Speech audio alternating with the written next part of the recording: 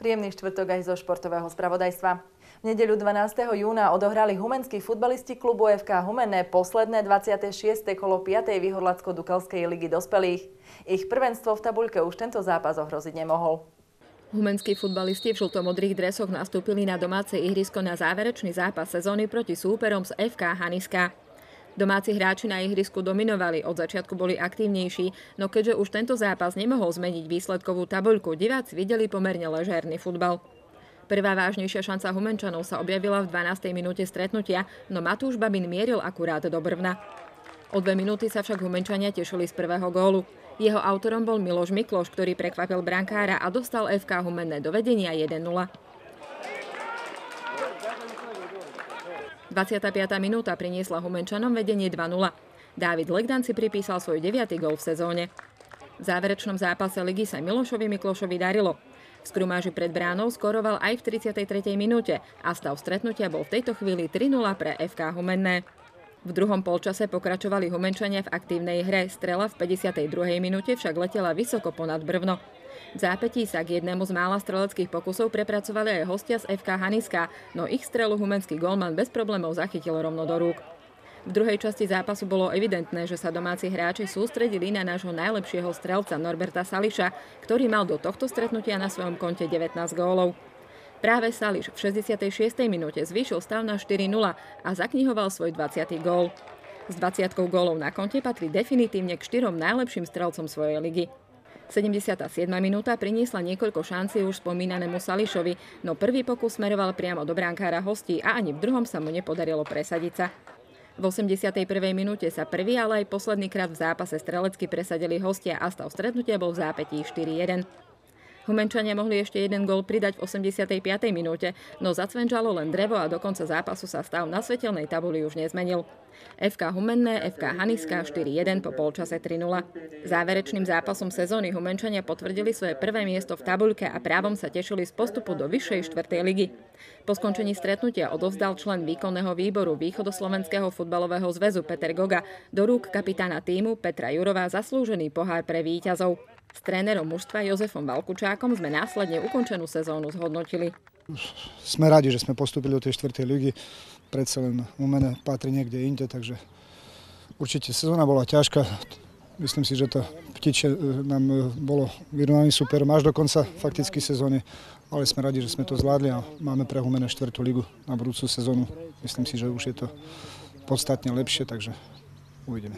A čo sa týka kádra, budú nejaké zmeny? Viete už teraz niečo? Viete čo, dnes do polnoci sa potešíme a určite začneme na tom pracovať, lebo to je už iná liga, určite lepšia súťaž, určite nejaké zmeny, určite nejaké posily, keď sa nahrať dôstojnú rolu v tejto súťaži a myslím si, že tie ambície a ciele budú zase len tie najvyššie, takže určite nejaké musia byť zasahy do mústva, či už smerom dnu alebo von, takže asi toľko.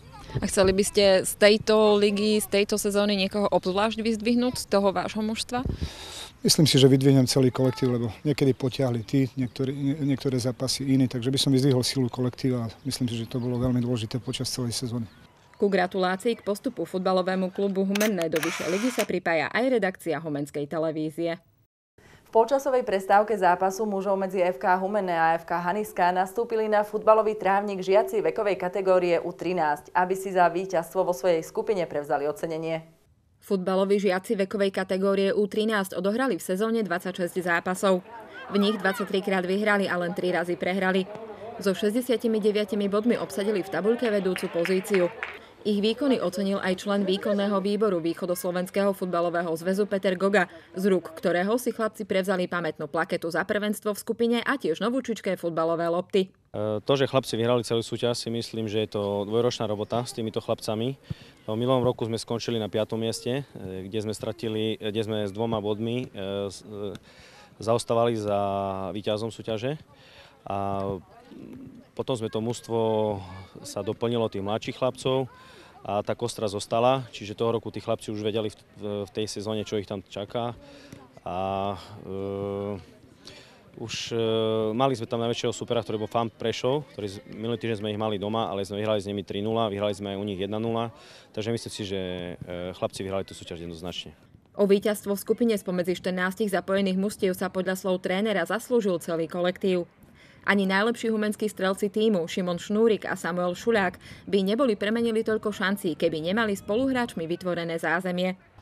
V minulom roku sme dali 55 gólov, toho roku sme dali už 133 gólov tak e, veľký vplyv má na to, že polovička týchto chlapcov je už aj súčasťou športovej triedy tu na základnej škole Hančiarskej. Aj títo dvaja chlapci, čo mali 27 golov, aj Šuliak, aj Šnurik, obidvaja prestúpili v septembri minulého roku tu na Hančiarskú školu a vidno to na ich výkonoch, že do obedu sa im tiež e, venujeme po futbalovej stránke a títo chlapci to dokázali potom aj na ihrisku.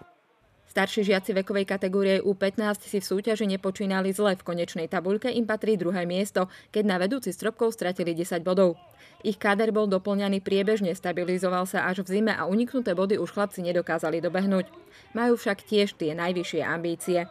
Naším jednoznačným cieľom je eh, aspoň nejaký do dvoch rokov sa dostať naspäť do prvej ligy lebo v tejto súťaži e, štartujú niektoré družstva, tými, ktoré, e, s ktorými sme mali veľmi jednoznačne výsledky, kde sme vyhrali doma z Lokomotivou Košice B 17-0 a myslím si, že rastu to týmto chlapcom veľmi nedodá. My potrebujeme sa konfrontovať s inými mústvami, s mústvami s Tatranom Prešov, s Michalovcami, z VSS Košice. Futbalová sezóna 2015-2016 skončila. Chlapci si chvíľu oddychu zaslúžia a potom ich už čaká príprava na novú sezónu. Zápas posledného kola odohrali v nedeľu 12. júna na ihrisku pri aj dorastenci futbalového klubu Humené. Ich súpermi boli Košičania z klubu KC Jednota Košice. Humenčania staršieho dorastu, hrajúci svoje stretnutie o 10. hodine, odohrali zápas proti košickému súperovi z konca tabuľky. Pod vedením trénera Jana Opielu sa chlapci snažili ukončiť aktuálnu sezónu pekným výsledkom. Už v 11. minúte mali dôvod na radosť. Zápasové skóre otvoril Marcel Balok, ktorý dostal svoj tým do vedenia 1-0. V 27. minúte zápasu videli žlté karty obaja futbaloví kapitáni. Humenčania na potrestanie svojho kapitána reagovali ďalším gólom do siete súpera. Po presnej strele Jozefa Cholpa bol stav 2-0 pre FK Humenné. Ani nie 4 minúty trvalo, kým sa humenskí futbalisti radovali opäť. Streleckú bilanciu si v 33. minúte zlepšil Jozef Lojka, ktorý premenil stav na 3-0. Po polčase sa dlho strelecky nepresadili futbalisti ani jedného mužstva, hoci šance na góly sa objavovali. Podarilo sa to až v 80. minúte strelcovi nášho prvého gólu Marcelovi Balogovi. Humenné po jeho strele viedlo 4-0. Tento stav však nebol konečný. Hosťom z Košíc sa napokon podarilo skórovať tiež. V 82. minúte znížili gólový rozdiel na 4-1, čo bol napokon aj konečný výsledok stretnutia. Starší dorast FK Humenné Kac jednota Košice 4-1 po polčase 3-0.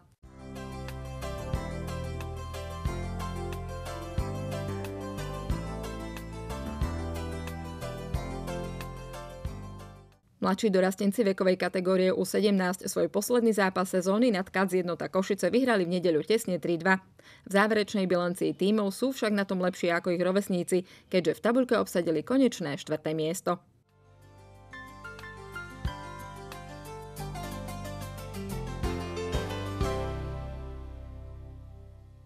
V sobotu 11. júna usporiadal prvý TC Humenné oblastné kolo detského Davis Cupu a Fed Cupu. Tohto ročníka sa zúčastnilo 10 družstiev dievčat a 8 družstiev chlapcov. Humenné reprezentovali 3 družstva dievčat. Najviac sa darilo družstvu A v zložení Karin Feriaková, Simona Straková, Klára Bučková a Klaudia Ľaľová, ktoré skončili na prvom mieste vo svojej skupine. Prvé štyri družstvá z každej skupiny postupujú na krajské kolo, z ktorého prvé dva týmy chlapcov a dievčat postupia na celoslovenské finále do Národného tenisového centra v Bratislave. Počas uplynulého víkendu sa na letisku v Kamenici nad Cirochou konal tretí ročník medzinárodnej súťaže kozmických modelov Andritz Space Cup. Organizátormi medzinárodnej súťaže kozmických modelov Andritz Space Cup boli letecko-modelársky klub Humenné a aeroklub Kamenica nad Cirochou. Tohoto roku náš letecko-modelársky klub Humené organizuje už tretí ročník súťaže Andritz Space Cup, čo je súťaž Svetového pohára raketových modelárov a súčasne sme boli poverení organizáciou majstrovstiev Slovenska raketových modelárov v určitých kategóriách. Súťaž trvá 3 dní, každý deň sú nejaké iné tie kategórie. Ako je to vlastne rozdelené? Áno, súťažíme zhruba v šiestich kategóriách. Súťaž je rozdelená medzi národné kategórie a medzinárodné kategórie. Každý deň sa letajú iné kategórie. Na záver budú vyhodnotení najlepší účastníci Svetového pohára a najlepší účastníci majstrovstiev Slovenska. Na medzinárodnej súťaži kozmických modelov sa zišla svetová špička, majstri Európy a dokonca aj držitelia titulov majster sveta. Máme zhruba 45 účastníkov z 7 krajín. Môžem spomenúť Rusko, Bielorusko, Poľsko, Českú republiku a Chorvátsko. A Slovensko samozrejme. Andric Space Cup trval v Kamenici nad Cirochou 3 dni. V piatok 10. júna sa konali otvorené majstrovstvá Slovenskej republiky raketových modelov. Počas nich lietali súťažiaci súťažné kategórie S1A junior, S1B, S5B junior, S5C, S6A a S7. Podarilo sa nám k tomuto športu prilákať aj e, chlapcov a devčata z letecko-modelárskeho kružku v Humenom, e, ktorí pracujú na základnej škole Hrnčiarskej a budú súťažiť po obede v kategórii S6 Streamer. V sobotu 11. júna súťažili modelári v kategóriách S4A, S6A a S9A. V tabuľkovom prehľade vám ponúkame mena výťazov jednotlivých kategórií v rámci majstrovstiev Slovenska raketových modelov.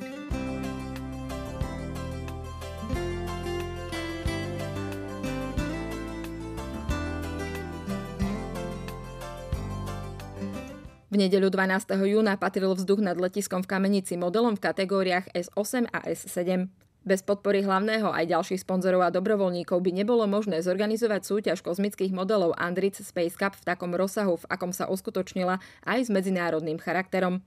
V tabuľke vidíte mena výťazov jednotlivých kategórií v rámci súťaže Svetového pohára raketových modelov Andritz Space Cup 2016.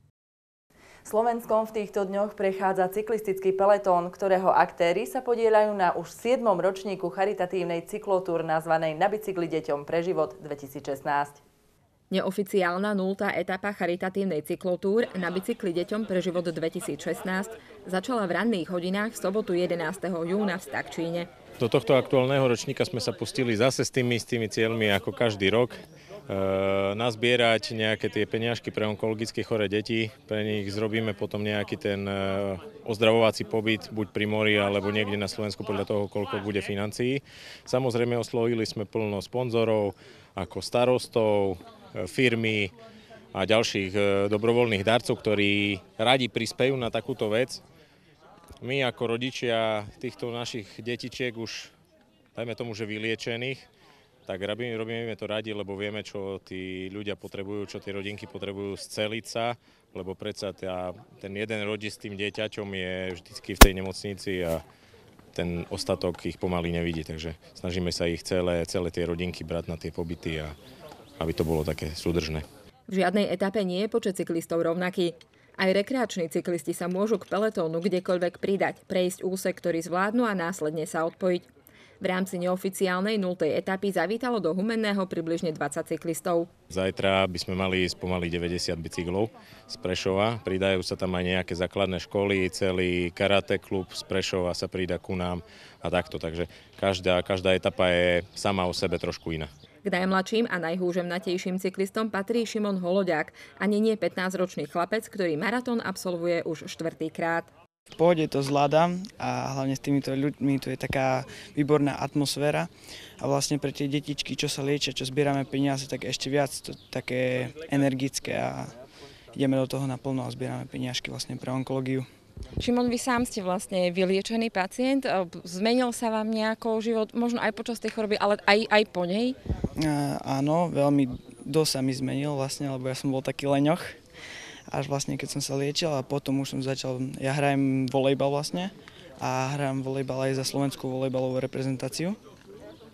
A vlastne už 8 rokov som po liečbe a dosť sa mi zmenil ako život, tak, tak sa snažím byť taký rozumnejší, dávať pozor a uvažovať tak Práve Šimonovi sa stalo, že pri viazde do Humenného dostal defekt. Ako sám povedal, po roku a pol, ale cyklisti sú pripravení aj na drobné nehody tohto typu. Defekt opravili a v jazde pokračovali ďalej. 7. ročník charitatívnej cyklotúr na bicykli deťom pre život 2016 mal oficiálny začiatok v obci Ždaňa pri Košiciach. Dialo sa tak na počesť Edka, ktorý z tejto obce pochádzal a ktorý svoj boj s rakovinou po šiestich rokoch prehral. Celková dĺžka plánovanej trasy od Ždane do Bratislavy meria 921 km. Charitatívna cyklojazda bude ukončená v sobotu 18. júna v hlavnom meste Slovenska.